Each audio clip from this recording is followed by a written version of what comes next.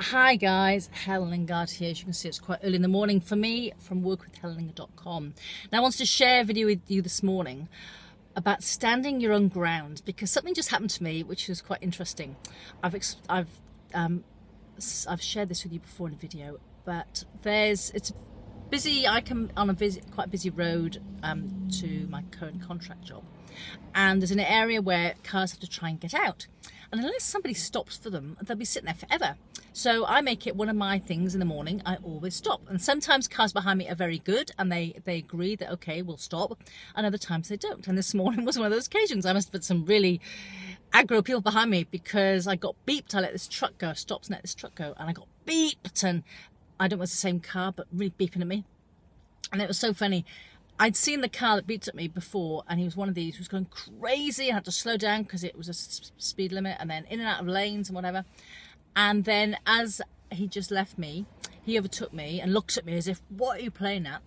And was clearly, you know, having a bad day. And that's just it don't be intimidated when these people are like that because basically they've got something going on in their life. They've got something that makes them really happy. I mean, for him, it might be the fact that he's had to get up and go to work at um, seven in the morning. I personally get up this time because I like to walk to work. I enjoy the walk and it means I can get away early. And he's probably somebody who works seven till seven or eight o'clock at night or something.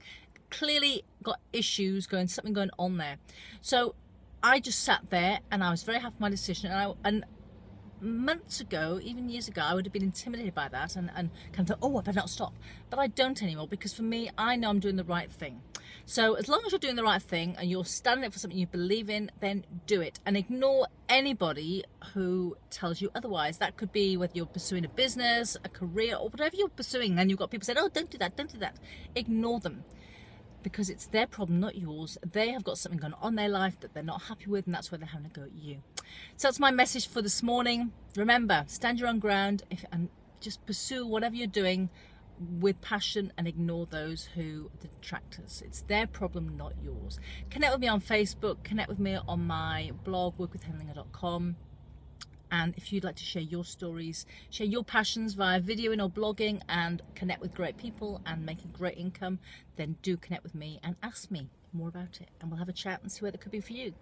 Talk to you soon. Have a great day.